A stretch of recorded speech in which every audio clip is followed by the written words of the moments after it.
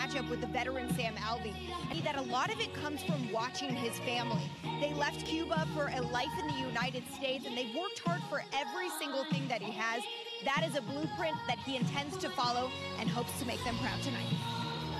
And he's rocking that Miley Cyrus party in the USA, I baby. mean, we see what he's doing, right, Jay? Yes. I oh, mean, I, this song was on my wedding list, so I'm a fan. But Julian Marquez, we were there, obviously, DC, a couple weeks ago, I guess months ago, but try to build on the momentum of the Maki Pitolo fight.